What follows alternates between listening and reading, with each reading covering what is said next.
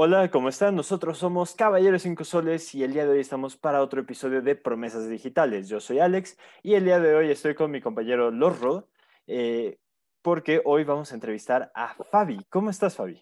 Bien, gracias. Un poco nerviosa. No te preocupes, insisto, esto es tranquilo, relajado. Tú siéntete cómoda y lo que nos quieras contar está excelente. Hemos escuchado cosas muy curiosas aquí. De Muy todos nos llega. Yo me Eh, puse más nerviosa. Tú tranquila. No Sí, te preocupes. Si les gusta nuestro contenido, no olviden darle like a este video y todo nuestro demás contenido. Y si todavía no son suscriptores, no olviden suscribirse aquí a nuestro canal de YouTube. Entonces, Lorro, si quieres empezar con la primera pregunta para Fabi. Claro que sí, Alex. Bueno, primero lo primero. Eh, ¿qué tipo de contenido es el que subes más a tus redes sociales? Porque sí noté que en tu Instagram y en tu TikTok, pues sí son pues com- cosas completamente distintas. Entonces, Este, ah, sí, de hecho en TikTok subo más contenido como que de, del lugar donde trabajo, que es una tienda. Y pues ya es como, Instagram es como que fotos más, más personales. ok. no sé. Ok. Eh, justo como mencionas, como dice Lorro, tu contenido es muy distinto. De hecho, nuestra referencia a nosotros antes de que conociéramos cualquier cosa de ti fue, es la chica de la tienda. Eh, cuéntanos. ¿Cómo empezaste a hacer contenido, este tipo de contenido para TikTok? Eh, ¿De dónde surgió la idea? ¿Estabas aburrida un día en el trabajo? ¿Te dijeron los del trabajo, ah, necesitamos publicidad, ayúdanos? ¿Cómo pasó esto? No, de hecho está súper curioso porque estaba grabando un video así, un video X, y justo en ese momento me llegó gente y me puse nerviosa. Y pues me gustó cómo salió el video y pues lo subí. Y ya la gente me estuvo como que pidiendo cosas de la tienda y ahí sí fue como que surgió eso. Ok.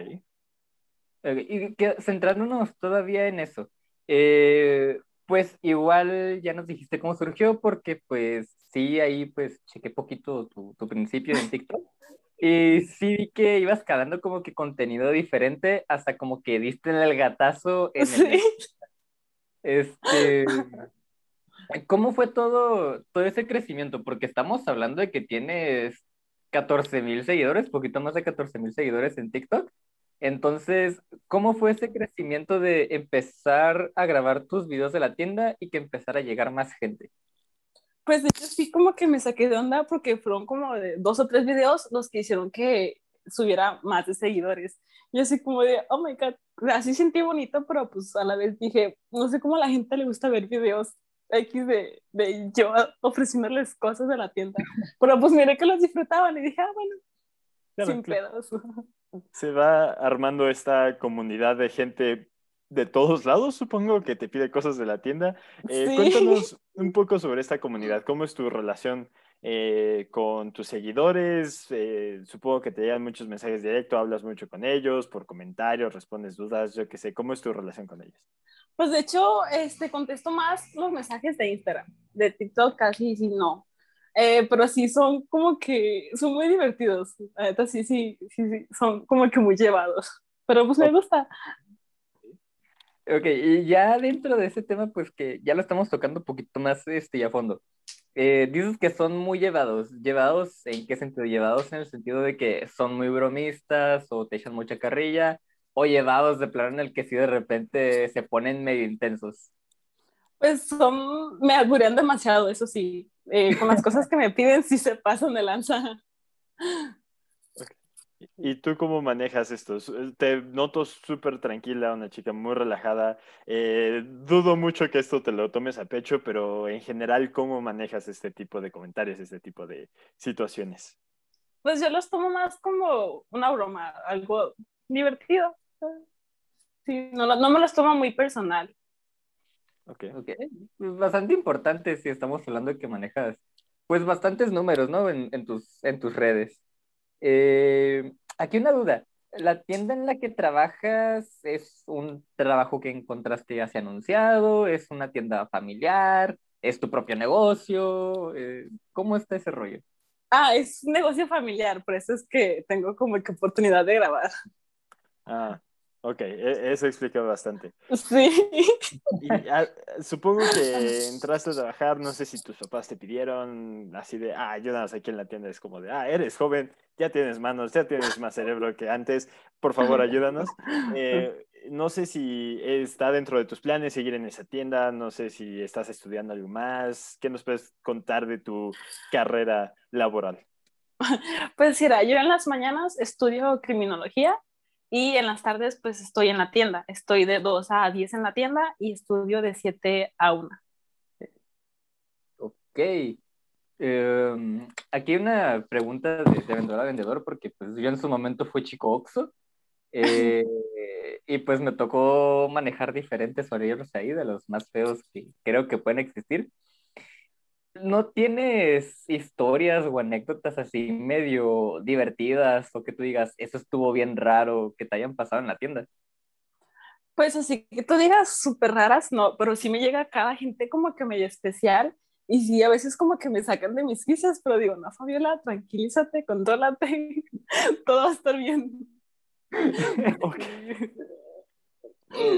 a, a, mí no me ha tocado, eh, no sé si estar agradecido o no agradecido, pero he escuchado del horror cantidad de historias impresionantes y las que no conozco, las que no conozco, veo al horror cómo se ríe, estoy seguro de eso.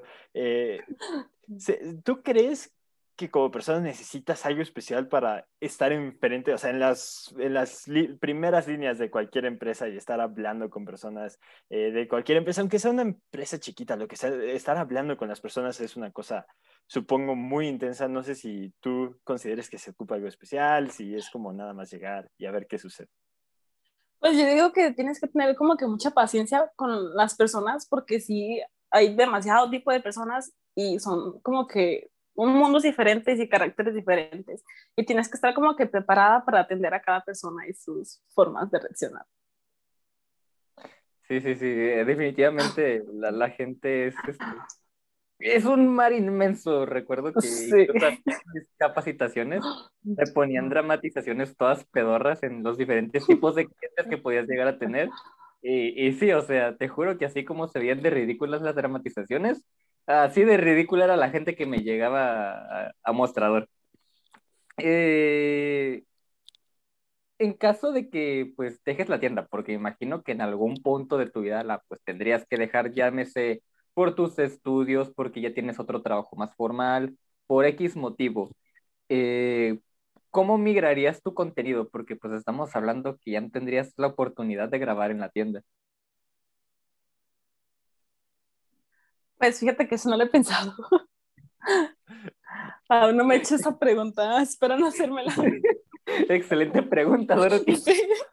ok, eh, sin ir tan a futuro, jalaré esa pregunta un poco más al presente. Cuéntanos un poco de qué tienes planeado, al menos para tu contenido en, el próximo mes. Vas a se seguir haciendo contenido de, eh, de, la tienda, capaz ya estás pensando en nuevos proyectos, nuevo tipo de contenido, aunque sea alrededor de la tienda.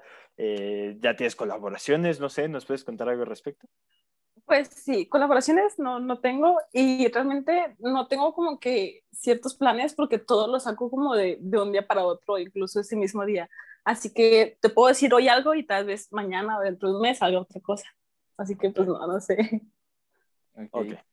Eh, pues no sé, me imagino que dentro de tus seguidores has de tener conocidos, amigos cercanos, eh, puede que uno que otro primo, eh, y pues en tu contenido, eh, ¿cómo te sientes respecto a eso? O sea, en caso de que sí vean contenido personas cercanas a ti. Pues no, me da igual si lo ven o no. De hecho, sí tengo a, a varios compañeros ahí de la, de la tienda, incluso hasta mi familia también me sigue por lo mismo, y así como de, ah, qué chido, ustedes ven mis videos.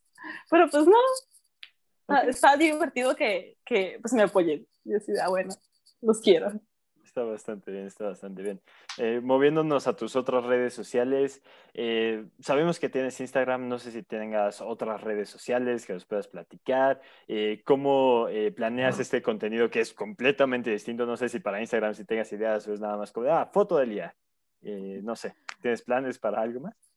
Pues no, no tengo planes para Instagram y sí tengo otras redes sociales que es este Facebook y es como que un poco más personal muchos de mis seguidores sí me lo han pedido y así como de, me gustaría dártelo, pero pues no, lo siento. No, es que hay cada seguidor porque, eh, o sea, nosotros no somos un canal grande y por ahí ya nos informaron que tenemos dos o tres haters. Entonces, eh, no sé, me imagino que con un canal que pues es el doble de grande que nosotros, que es el tuyo, o sea, 14 mil seguidores, me imagino que también tendrás tus cuatro o cinco haters del día, que no sé, que te dicen, no, Ah. eso no es contenido, que no sé qué cosa, cualquier cosita. Pues de hecho sí, hay veces que, por ejemplo, una vez que me pidieron que mostrara un producto que todavía tuviera el che- Chester, Chester Chetos, perdón. Ah. Y hubo varios que me dijeron, ay no, eso seguro ya está caducado, ya ni ha de servir. Y así como de, ah bueno, no voy a contestar esto, pero pues gracias. Sí, Sí. Las redes sociales son muy volátiles, sobre todo TikTok, que es algo que hemos visto por experiencia, por gente que hemos entrevistado, por gente con la que hemos jugado, hablado, lo que sea. TikTok es volátil a más no poder. Eh, ¿Cómo has manejado tú esa volatilidad? Eh, como me cuentas que cambias de un día para otro tus planes, este, lo que vas a hacer, me parece que vas al ritmo de TikTok, pero no sé si este, para ti todo el feed, el shadow ban, todas estas cosas, sea una lluvia que apenas aguantes, ¿cómo lo manejas? Todos estos temas que son tal vez un poco abrumadores para la mayoría. Pues sí está como que medio complicado, porque hay veces que veo a otras personas como que así, siguiendo como que el ritmo de TikTok y digo, yo quiero ser esa persona, pero pues a la vez no puedo por lo mismo de, de mis estudios o, o de estar a la tienda. De hecho, últimamente sí he estado como que dejando de hacer videos, por lo mismo de que he tenido como que mucha tarea. Pero digo, no, pues la tienes que hacer un tiempo. Pero pues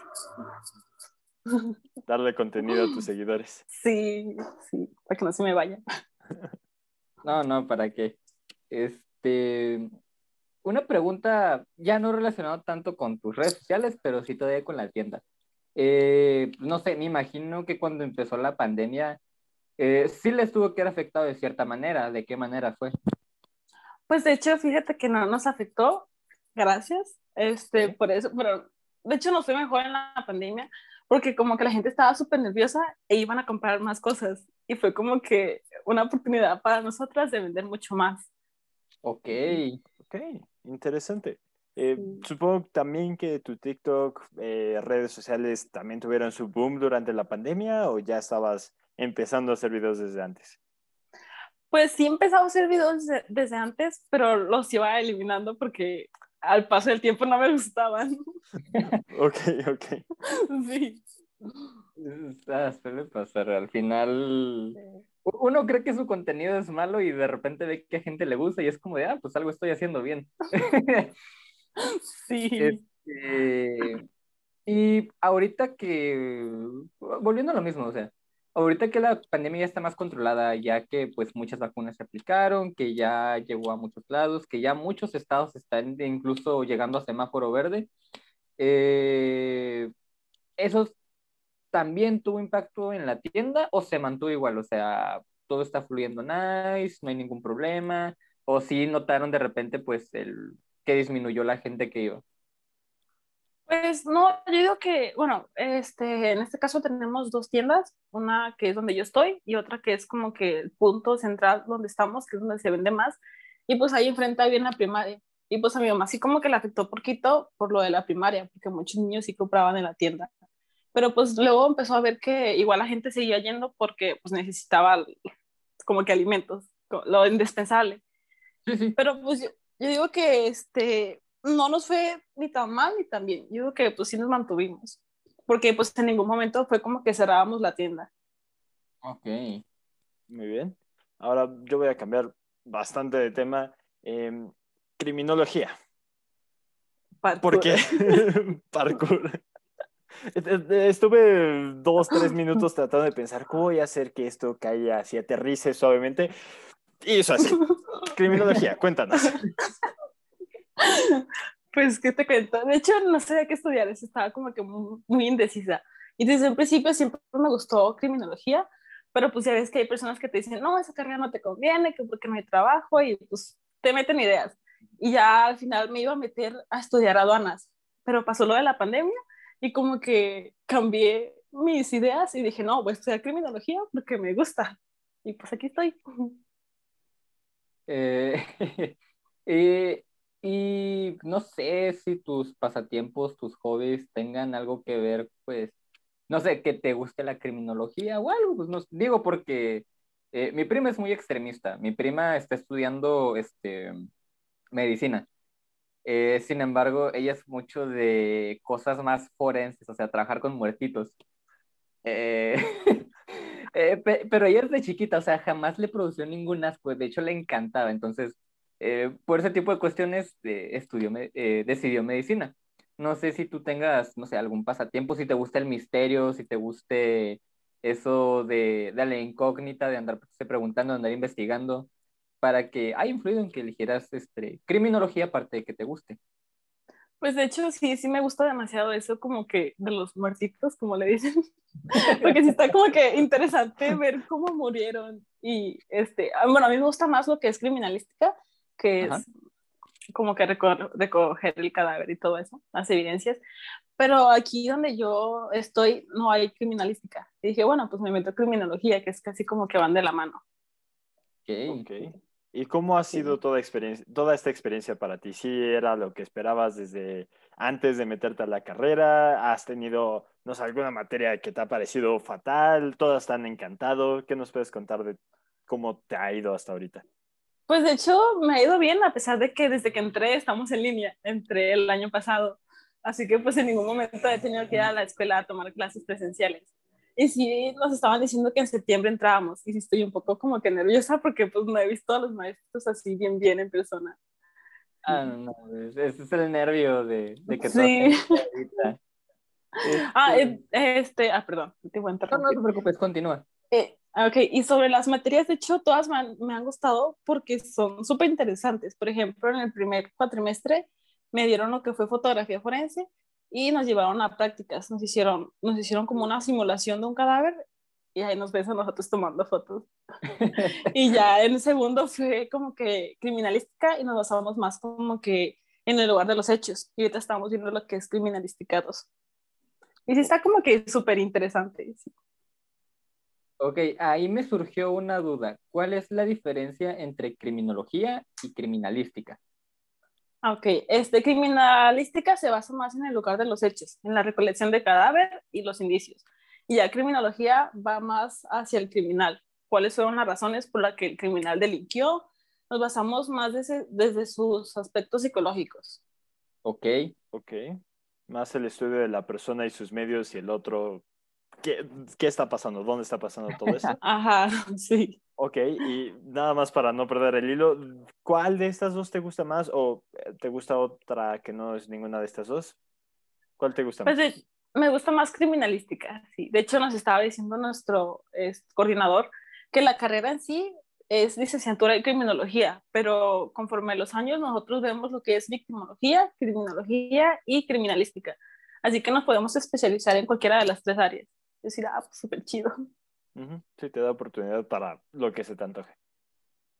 Ok. Eh, a mí me surgió una pregunta medio turbia ya relacionada con esto de tu carrera, pero tengo que hacerla. Eh, si tuvieras así la oportunidad de, no sé, resolver algún caso de, de X asesino serial que nunca atraparon y nunca supieron quién fue, eh, pero pues obviamente lo conocemos por algún apodo o algo. Eh, ¿de quién elegirías? Tú dirías, ah, yo me rifo en estudiar todo este caso y ver qué onda, o sea. Ay, no entendí bien tu pregunta, perdón. Eh, creo que es más como si tienes algún caso favorito de la historia que no se haya resuelto. Ajá, que tú, que tú dirías, ah, yo si pudiera lo resolvería. Pues yo digo que, bueno, es que en sí todo se me hace como que súper interesante. Que me digan a elegir este, sobre algo, no, no podría. Porque, o sea, sí sería, por ejemplo, hablas de un asesino serial, sí me gustaría ver como que el lugar en el que el asesino trabajó y ver, este, no sé si fueron varios cadáveres, solamente uno. Y creo que de ahí más o menos se basaría para saber más sobre el criminal, ¿sabes? Pero creo que todo está es súper interesante. Si no puedes escoger entre ir a buscar el criminal, no, no sé. ok, eh, igual voy a seguir con las preguntas turbias, no sé qué tan turbio vaya a ser esto, pero eh, yo, por ejemplo, en lo que estudio, eh, mis prácticas son ir y meter mano y hacer cosas con lo que tenemos y con lo que finalmente voy a terminar usando cuando ya salga de la carrera. ¿Cuáles son tus prácticas? ¿Qué, les ponen a hacer de prácticas? Porque nos hablaste del simulador y eso está bastante bien. No sé si tengan prácticas un poco más eh, dinámicas, por así llamarlos, un poco más este, presenciales, o si todas son en simuladores, este, con casos ya resueltos, yo qué sé. Pues mira, como te mencioné antes, apenas es como que mi primer año y, y en línea no nos hemos podido ver demasiado y tampoco no hemos podido tener muchas prácticas. Esa la que te digo de la práctica fue como que la primera que tuve y la única que he tenido hasta el momento. Pero sí nos han dejado más como que eh, de, resolver, el maestro nos da como que, ¿cómo te puedo decir? ciertos casos, ajá, ciertos casos de, no sé, de personas que violaron o que mataron a alguien. Nosotros tenemos que descubrir cuáles fueron las causas criminógenas por las que hizo eso. Ok, interesante. Y, y me da curiosidad antes de cualquier otra cosa. ¿Son casos reales? Este, sí. Ok. Hola, Ingi. Ajá. okay. Curioso, curioso. Ok, justo por eso preguntaba así, como son casos reales. Ok. fuerte, fuerte. Sí. Este. Una pregunta. Eh, la voy a dividir en dos porque, pues, una es respuesta cortita y ya después va la pregunta así como que chida. Eh, en criminología, ¿hay algún semestre, porque pues me imagino que ya viste todo tu plan de estudios, ¿hay algún semestre en el que vayas a llevar este forense? Porque creo que tengo entendido que se llevan forense, no estoy seguro. Este, sí, y son cuatrimestres los que nosotros vemos, no semestres. Ah, ok. Y, ajá. y, ajá, creo que es, no recuerdo bien, pero sí son en los últimos cuatrimestres, no recuerdo si es en el séptimo, octavo, la no recuerdo, pero sí, sí, sí, llevamos. Ok, y ahí ya va la pregunta buena. Eh, ¿Cuál es tu pensamiento al saber que va a llegar un punto en el de, tu carrera en el que vas a estar enfrente de un cadáver de verdad, que vas a saber cómo lo abren para pues poder revisarlo y todo, y que aparte posiblemente tengas la oportunidad de tocar un cadáver, eh, eh, pues tal cual. No, qué chido. qué divertido, ya hasta me emocioné. E-, esta es la mejor parte de las entrevistas cuando conocemos a gente muy distinta a nosotros, porque yo por mí, yo, yo, yo no podría, no, no podría, a mí me da algo, si un cadáver, pero Impresionante. La verdad, mis respetos. Muchas gracias por tu esfuerzo, por tu trabajo, porque sin ti esta sociedad no podría seguir siendo lo que es hoy en día. Eh, pero pasando a temas un poco más felices, menos muertos. Este, cuéntanos un poco de tus hobbies. ¿Qué haces este, fuera de la escuela, fuera de grabar videos, eh, grabar, sí, este, trabajar en la tienda? Eh, aparentemente no es tanto tiempo libre, pero ¿qué haces en ese tiempo libre? Este, bueno, cuando tengo tiempo libre normalmente voy a clases de pol, que son en las mañanas. Nada más voy los viernes porque son los únicos días que en los que se me acomoda y puedo ir. Y es mi único hobby. No mm, quiero sonar ignorante, pero ¿qué son clases de pol? Uh, sí, eres ignorante, pa. es como el pole dance, no sé si... Ah, ok, ok. Ya, ya, sí. Más o menos, por ahí va. Por ahí va. Perfecto. Por no decirlo de otro modo. Este, entonces, nada de lectura, nada de, no sé, eh, pasear, eh, intentar cocinar, puro pol. Eh, pues cocinar ya sé, desde chiquita me enseñaban a cocinar. Y leer, pues sí tengo que leer, pero por la escuela. Así, sí me gustan los libros, pero pues casi no tengo tiempo de leer. Lo que sí me gusta mucho es ver anime, me encanta el anime. Ah, perfecto. Eh. Aquí tienes tu experto, yo hago el esfuerzo, pero aquí tienes tu experto. Eh, ahorita te tocará a ti, los hacer eh, preguntas sobre anime. nada más, ¿nos quieres contar un poco más sobre Paul? ¿Cómo llegaste hasta Paul? Este, ¿Qué quisieras hacer en un futuro? Nada más que sigas siendo un hobby, hacerlo más por diversión, grabar videos, yo qué sé. Pues, de hecho, a mí siempre me gustó mucho eso del pool dance. Y me acuerdo que fue cuando estaba en el bachillerato que me empecé a buscar como que ciertas clases aquí en donde yo vivo, que es en Colima. Y busqué, encontré varios, pero a todos los que les mandé mensajes, solamente uno me respondió y es a donde estoy actualmente. Hey, curioso, curioso. Sí, y este, pues ahorita lo veo como un hobby, pero sí me gustaría como que avanzar más. Y de hecho, lo he pensado así nomás como un pensamiento. He dicho así como, Ay, qué chido sería ser stripper. Bastante bien, bastante bien. Sí, o sea, es que un chiste, la risa, pero pues sería interesante. O sea, yo lo, yo lo haría nada más como que por un pasatiempo, algo divertido.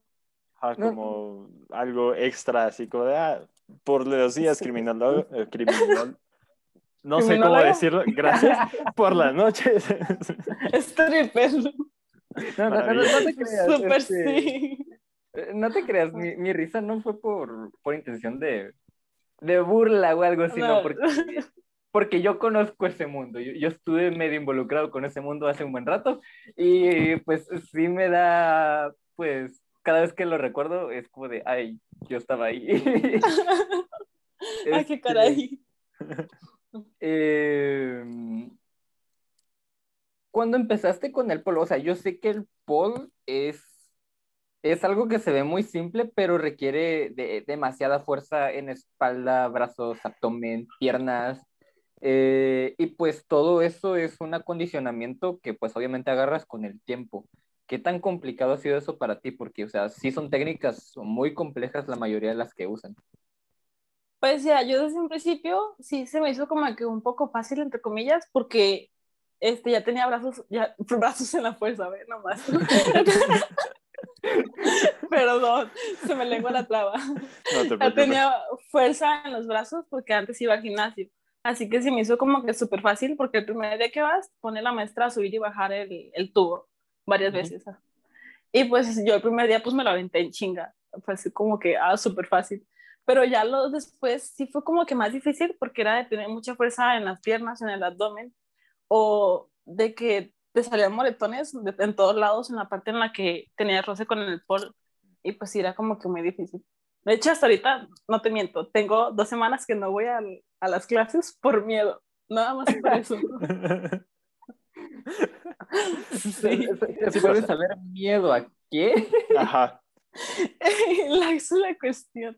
Eh, ahorita estoy, este, la maestra me quiere poner a, bueno, estoy practicando varias posiciones, Pero son demasiado difíciles porque en una ocupo demasiado, este, como que torcer mi espalda y me rozo mucho la pierna. Y pues cada que lo intento sí me vengo con un bicho moretón bien grande. Y pues sí me da miedo ese. Además, no quiero. además, creo yo da miedo porque al final del día repites muchas veces el mis- la misma posición para practicarlo, para ser mejor. Te terminas lastimando en el mismo lugar y si ya está tocado, termina peor, supongo. Sí, de hecho, tengo unas marcas en la pierna que no se me pueden quitar, que fue la vez que me salieron moretes, y no sé cómo hacerle para que se me quiten, porque sí están como que muy raritas las marcas, y así como de, ah, chale. No, y, y luego para acabar no son solo las piernas, ¿no? Porque tengo entendido este, que muchos aconsejan, no, pues véndate pies y manos porque también es mucho roce y luego te vas a lastimar, que los callos, que no sé qué cosa. ¿Eso también afecta o puro cuento? Pues de hecho, acá la maestra nos dice que entre menos ropa mejor, porque ocupas que todo su cuer- tu cuerpo se, acom- se acople a los moretones y al, al tubo. Y de hecho sí es bueno tener muchos callos en las manos porque eso te va dando como que mayor resistencia al momento de estar arriba del, del tubo. Claro. Así que entre menos ropa traigas, mejores. Ok. A- Ahí, ahí yo tengo dos preguntas. Eh, creo que miré. Primero, la sencilla. De, de tres cosas: fuerza, agilidad, elasticidad. ¿Cuál es la que más se necesita? A fuerza, huevo. Ok, ok, perfecto. Eh, un paso más adelante en mi caso, eh, porque elasticidad no tengo para nada. Eh, ahora sí, de, de la otra, fricción. ¿E- ¿Es ideal tener más fricción o menos fricción? Pues sí es como que ideal, pero pues si no tienes, pues no hay problema. Hay como que varias posiciones en las que te puedes acoplar sin necesidad. Por ejemplo, yo no tengo mucha elasticidad. Y en las posiciones que he hecho hasta el momento, pues sí me ha servido porque no ocupo mucha elasticidad. Y la maestra, como sabe que no soy tan flexible, pues tampoco no me, como que me exige demasiado eso. Ok. Eh, No, pues bastante interesante porque, pues, o sea, la verdad lo del Paul no lo esperábamos porque, te repito, nosotros nos, la, no- nos presentaron como la chica de la tienda. Sí. y- y no sé, yo imaginé que era, no sé, algo, algo con un trasfondo más, más cabrón y ya cuando pregunté, no, pues es que literalmente trabaja en una tienda, fue como de, ah, ok, interesante, vamos a ver qué pasa. Este, y pues así. Bueno, lamentablemente ya se nos va a acabar el tiempo. Eh, esto ha sido muy interesante, muy curioso. Hemos aprendido muchísimo sobre ti, Fabi. Muchas gracias por venir. Eh, para ya cerrar, ¿cuáles son tus redes sociales? ¿Cómo te pueden encontrar en ellas? En todas mis redes se encuentran como Javi-Yabami. En todas. Excelente. ¿Y son TikTok, Instagram? ¿Y ya? Nada más, sí. Nada más. Perfecto. Nosotros somos Caballeros 5 Soles y nos pueden encontrar en Instagram, TikTok, Facebook, YouTube y Twitter como Caballeros 5 Soles, 5 con número. Eso ha sido todo por ahora. Fabi, en verdad, mu- muy, divertida la entrevista. Muchísimas. gracias. Eh, Gracias a ustedes por invitarme. Nos vemos todos.